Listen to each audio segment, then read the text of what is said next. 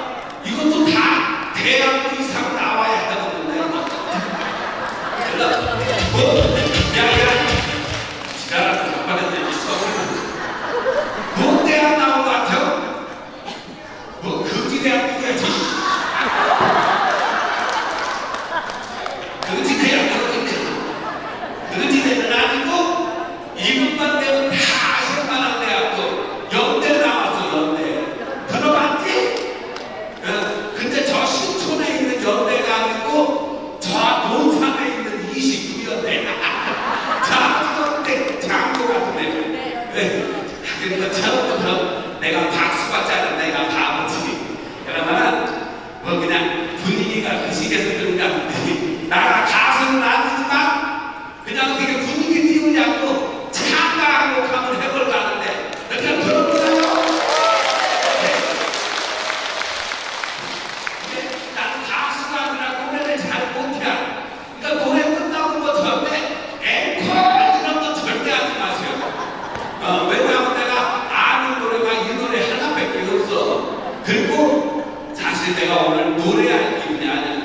그러니까 중간중간에도 저희 어머니 같은 분들 몇 분 앉아 계시는데 저희 어머님이 며칠 전에 큰 수술을 했어. 그뭔 노래할 분이나 했었는데 에이 그냥 옆에서 기억나는 해드려야 되는데 우리 어머니 방에 나시라고 박수 한번 줘